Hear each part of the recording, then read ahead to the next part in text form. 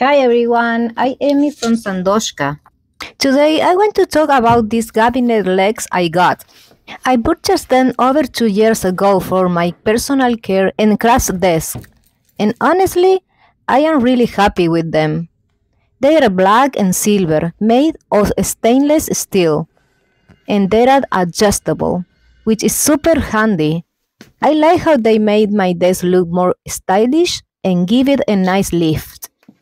They are really solid, and they hold up the top of my desk really well. Go for this if you need something sturdy and easy to install.